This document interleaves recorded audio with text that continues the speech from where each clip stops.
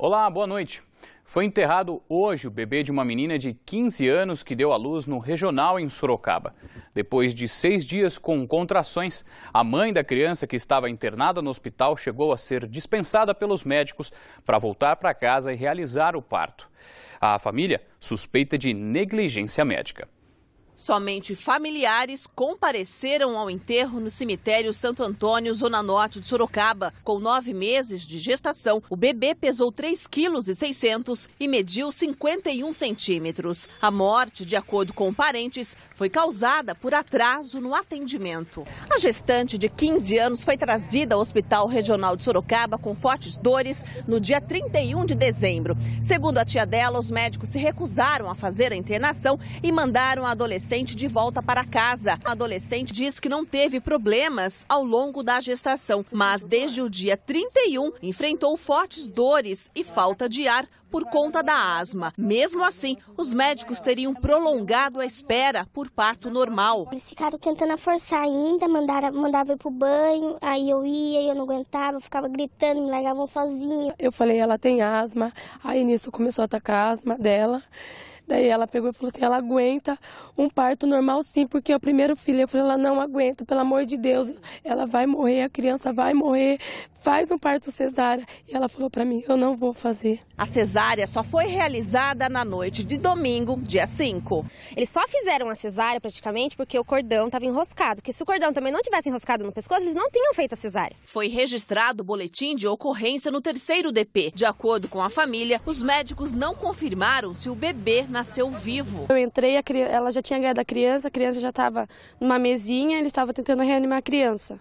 Daí foi quando eu dei o remédio para ela, que eu sentei, que eu vi a criança toda roxa. E ela perguntava e eu não sabia o que falar para ela. Daí, daqui a pouco, deu coisa de 15 minutos, a médica veio e falou que fez de tudo, mas não tinha conseguido, que a criança tinha falecido. Foi negligência deles, porque se fosse feito antes, a criança estava viva hoje. Estava no colo dela, não estava enterrado. Em nota, o CHS informou que a paciente foi atendida em três dias diferentes e liberada, porque em nenhuma das vezes apresentava o trabalho de parto e as avaliações no feto não tinham alterações. Somente na madrugada do dia 5 de janeiro é que a jovem, ao retornar à unidade, apresentou o trabalho de parto inicial que evoluiu.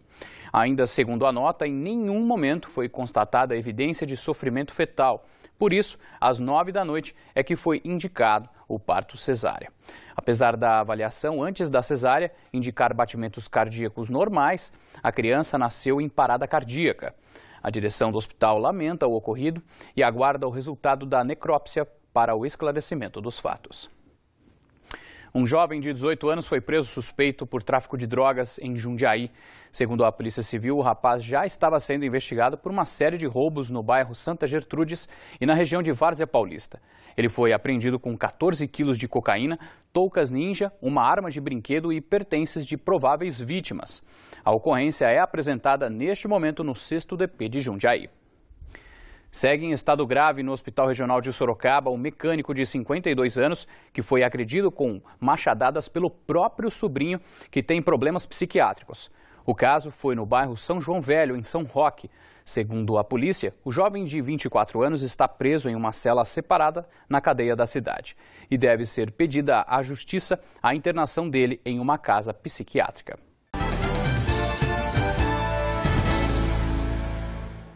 Animais de estimação estão abandonados em uma área de Votorantim. Tudo porque os donos, que são os moradores que viviam em uma comunidade, estão sendo remanejados do local para um novo programa de moradia oferecido pela Prefeitura. Nesta área do bairro Santos Dumont, em Votorantim, a cena é de tristeza. Cachorros, gatos e até galinhas vivem em meio ao entulho, que um dia foi o lar desses animais. Famílias que moravam aqui foram realocadas em conjuntos habitacionais, mas não tiveram autorização para levar os bichos. Sem donos, eles circulam contando com a boa vontade de outros moradores. A gente dá água, dá comida. Às vezes você cata um que está meio precário, você dá banho.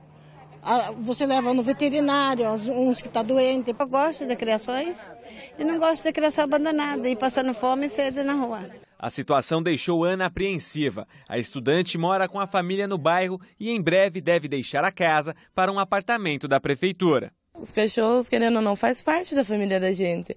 Quando a gente adota, assume a responsabilidade. Então, como que a gente vai deixar ele para trás? Passando fome? Já tem tanto cachorro abandonado, por que abandonar mais? Mesma preocupação deste homem que não quis se identificar. Prestes a se mudar, ele se recusa a largar os bichos. Não tenho deixar os cachorros. Eu vou ter que alugar um espacinho para deixar os cachorros, porque eu não vou abandonar eles na rua. Para as ONGs que cuidam de animais abandonados, a prefeitura deveria se responsabilizar pelos bichos. Por isso, eles devem levar o caso à justiça. Temos advogados que, que estão analisando o caso, a gente está tomando depoimentos de vários moradores que já saíram, que estão prestes a sair, ver qual foi a versão que o poder público apresentou para eles, é, o que eles passaram que iria acontecer com esses animais para poder mensurar é, o tamanho da responsabilidade. É, e a Secretaria da Cidadania informa que não houve proibição para levar animais de estimação aos novos apartamentos. Durante as reuniões anteriores às mudanças, as famílias foram orientadas que, no caso, optassem por não levar os seus animais aos apartamentos, deveriam sim providenciar a doação antes da transferência, prática adotada por diversas famílias. Nas vistorias posteriores às transferências, as equipes da cidadania não verificaram a presença de animais nas regiões desocupadas. Sobre a autorização para a permanência dos animais nos novos empreendimentos, a decisão caberá aos moradores dos condomínios. Enquanto alguns sentem tristeza em deixar os companheiros em Sorocaba, a câmera de vigilância de uma casa flagrou uma mulher que abandona um cachorro. No vídeo é possível ver quando ela joga o animal pela grade. Em seguida, ele começa a latir desesperado. O barulho foi ouvido por Lorena, dona do imóvel. Eu encontrei o cachorro aqui, achei suspeito pelo escutar do carro parado aí na frente, ele começou a gritar. Não tinha como ele passar pelo vão, achei eu. Aí eu falei, alguém jogou ele por cima do portão. Foi quando eu fui acessar minha câmera, não consegui, foi no meu vizinho e gravou. Em seguida, como ele fugiu pelo vão do portão, eu saí correndo de carro para procurar ele, não achei, procurei ela pelo bairro inteiro aqui, não achei. Quando eu voltei uns 15 minutos depois, ele estava deitadinho ali esperando por ela. Toda a história começou no fim do ano passado. Carolina encontrou o poodle em uma rua da Vila Santana, em Sorocaba. Eu estava voltando, né, para casa do meu namorado com a minha sogra e meu namorado. E a gente achou na esquina da Avenida Nova, ali perto da Vila Santana, um cachorro meio poodle, meio sujinho, mas né, que percebia que estava perdido, né? Ficamos uma meia horinha lá tentando fazer amizade com ele, né? E consegui pegá-lo e levei ele para minha casa. A administradora já havia resgatado animais, mas tem três cadelas em casa e não pôde ficar com o cãozinho. Ela colocou uma foto na internet e, como não encontrou o dono, resolveu doá-lo a uma família. E surgiu esse, um, uma senhora, né, que falou que estava com o cachorro também perdido, só que foi reencontrado e que infelizmente faleceu, né? E ela me pediu então que se não tivesse doado, né, que eu ainda desse para ela o cachorro, já que ela queria colocar no lugar. No último domingo, Carolina entregou o cachorro para a família de Edson Rubens, que cuida de cães na rua. O empresário acredita que o poodle fugiu na segunda-feira por um descuido. Ele estava brincando com o meu sobrinho de dois anos e meio e ele fugiu, possivelmente por algum uma fresta no portão ou até mesmo algum descuido da criança ter aberto o portão e ele escapou. A gente que gosta de animais, inclusive eu cuido aqui na rua de quatro, cinco cachorros de rua, tenho dois adotados de rua, Jamais faríamos isso com o animal. Ele diz não conhecer a mulher que abandonou o cão. Mas depois de tudo isso, o cãozinho ainda teve um final feliz. Recebeu o nome de Bob. A tia da dona do imóvel onde o bichinho de estimação foi deixado se apaixonou por ele e vai levá-lo para Goiânia. Tem três meses e 20 dias mais ou menos eu perdi, me roubaram a minha cachorrinha lá em Goiânia. E agora eu vim para cá a passeio, né? E de repente aparece esse cachorrinho aqui, então é porque tinha que ser meu. De acordo com a delegacia especializada em maus tratos a animais de Sorocaba, quando identificada, a suspeita pode responder pelo crime de maus tratos e pegar de três meses a um ano de reclusão, que pode ser revertido em prestação de serviço social.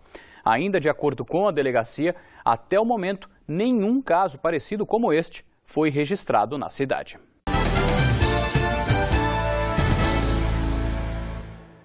Manifestantes bloquearam a rodovia Raposo Tavares por aproximadamente três horas na noite desta segunda-feira em Mairink.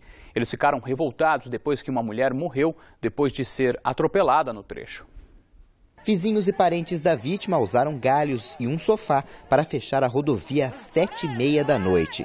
Provocaram quilômetros de congestionamento nos dois sentidos da Raposo Tavares. Moradores do bairro Roda de Carroça estavam indignados com a morte da moradora Valéria Dias, de 25 anos, atropelada na tarde desta segunda-feira. Valéria foi atropelada ao voltar do trabalho. Ela andava no acostamento naquele trecho quando foi atingida por um carro que seguia no sentido interior.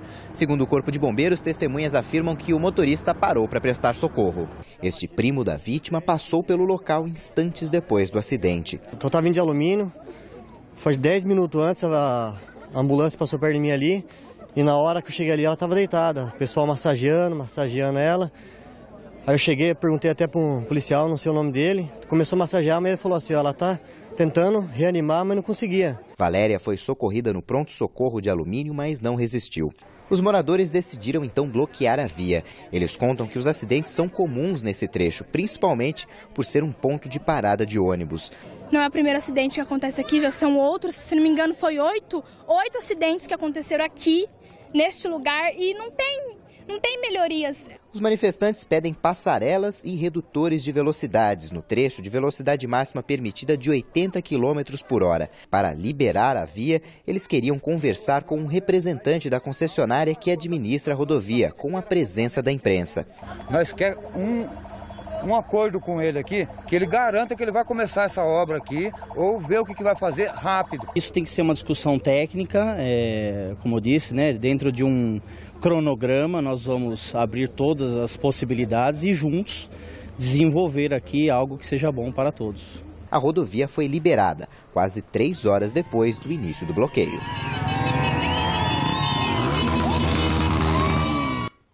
A concessionária que administra o trecho informou que, neste momento, é realizada uma reunião com os moradores de Mairink na sede da empresa em Barueri para discutir as reivindicações. O motorista que atropelou Valéria foi levado à delegacia e depois liberado. E deve responder por lesão corporal por enquanto. E depois, no fim do inquérito, pode ser indiciado por homicídio culposo. A quarta-feira deve ter sol no período da manhã, com previsão de pancadas de chuva à tarde e à noite. Em Sorocaba, as temperaturas devem variar entre 22 e 32 graus. Veja como fica o tempo em outras cidades da região.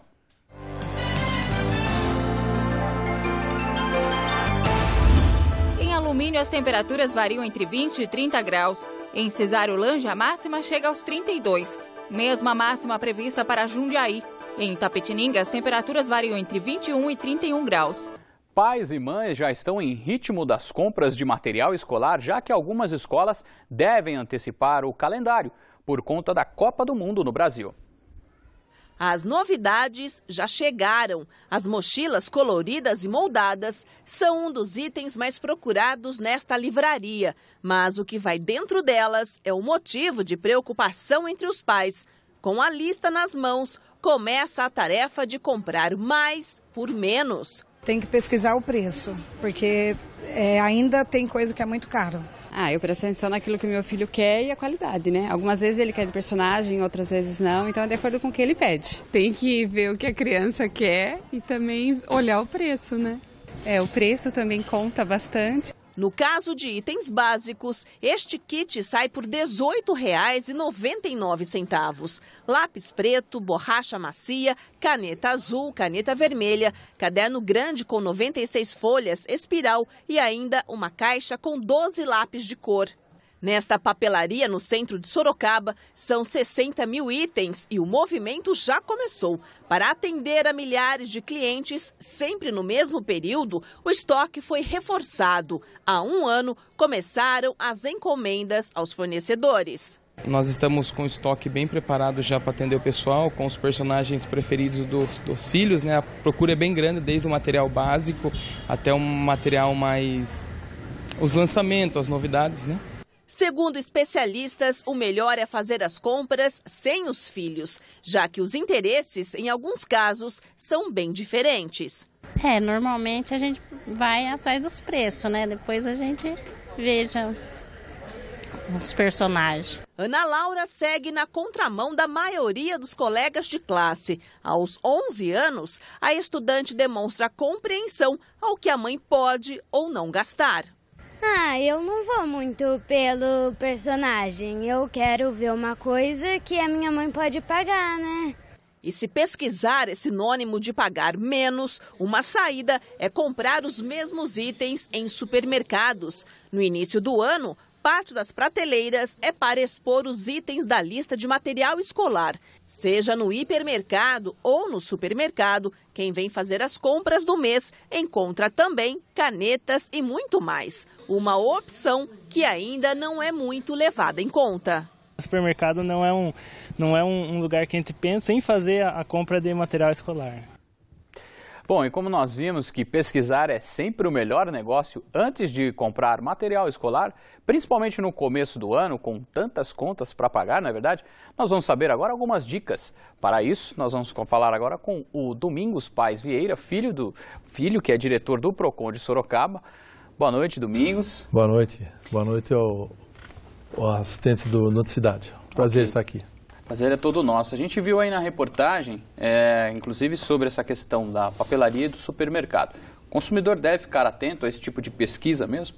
Sim, ele deve ficar atento. Inclusive, a, a Fundação Pocom deve estar lançando agora, no começo do ano, uma pesquisa relativa a material escolar, tá? que vai ajudar muito o pai na hora de estar tá fazendo essa compra do material escolar. Mas ficar atento aí nessas é, observar, fazer comparações, né? Tem que ter paciência. Sim, muita paciência. Ou seja, é, porque os mercados geralmente, os, as grandes redes oferecem um preço um pouco mais acessível até pela compra da quantidade, né? Mas aí eu tenho uma segunda pergunta aqui que eu acho que mais ou menos vai ao encontro disso, né? Vamos lá. É, essa, essa questão, por exemplo, se os pais é uma opção os pais formarem grupos para fazer para fazer a compra? É uma opção interessante, sim. É, quanto maior poder de, de, de, compra, quantos, a aglutinação maior de compradores, você tem como estar tá trabalhando melhor esse preço junto ao fornecedor. É, é importante, é interessante sim que se fe, seja feito assim um tipo um grupo, né, para fazer essa compra coletiva. É no meio uma pessoa que de sim, repente que tem até essa disponibilidade, está fazendo essa pesquisa, está checando onde encontra o melhor preço, né, é muito interessante. E no caso das escolas, a, a lista de material está lá, né, você pega tudo bonitinho tem itens lá que às vezes não são necessários ou não são usados em sala de aula. Os pais, eles devem ficar atentos a isso também? Devem ficar atentos, acompanhar essa lista, checar junto à escola a real necessidade desse material, por que ele está sendo pedido. Se tiver alguma dúvida, pedir um esclarecimento para o orientador pedagógico da escola. É importante que ele faça sem esse acompanhamento, para não comprar material que não seja é, realmente que vai ser usado. E no final do ano letivo, ele que acompanhe, sobrou material, ele tem direito de estar recebendo esse material de volta. E no caso de indicação, por exemplo, às vezes a lista tem lá X materiais, tal, é o ideal que a escola indica a loja tal. Isso é, isso é não, é permitido? é proibido, não é, não é salutar isso. A lei proíbe isso, tá? O pai tem que ficar é, livre para comprar onde quiser. A escola não tem que estar indicando local, loja, supermercado. O pai tem que ficar à vontade. E com relação às compras e pesquisas pela internet, o PROCON aconselha? Sim, é um outro item agora que a gente está vendo muito. A internet está sendo muito difundida, mas é bom que se procurem é, fazer compras em sites que sejam confiáveis, em sites que, inclusive, pode até procurar é, no próprio site da Fundação Procon, sites que você não deve comprar. Você vai ali, você faz uma pesquisa bem rápida, se ele não está ali nesta lista, é, procure imprimir aquilo que foi ofertado, procure se resguardar, saber se tem é, CNPJ, endereço físico, para lá na frente, se você tiver alguma, alguma questão que você precisa resolver, você saiba onde você encontrar essa empresa. Tá ok. Eu agradeço a sua participação, viu, Domingos? E aí fica a mensagem para os pais aí que nos acompanham, né? Sempre paciência na hora da pesquisa e olho aberto nos preços. Tá? Correto. Eu queria passar uma informação para os pais também, que nós não mencionamos aqui, com relação ao, uniforme escolar. O pai que fique atento, a escola não pode obrigar o aluno a estar comprando em determinado local. A menos que a escola exista, ela tenha um registro daquele uniforme, aí sim ela pode estar vendendo no próprio local ou aonde ela indicar. Mas não deve ficar obrigando ninguém a comprar em tal loja. Tá ok, obrigado, viu, Domingos? Eu que agradeço, estamos à disposição. Participe dos nossos telejornais, envie sugestões de reportagem pelo site tvsorocaba.com.br ou pelo telefone 15 32 38 8804. O Noticidade termina aqui. Você fica agora com o SBT Brasil. E amanhã cedo, às 7 horas, o Noticidade Manhã com Nolan Robertos. Uma ótima noite para você. Saúde e sucesso!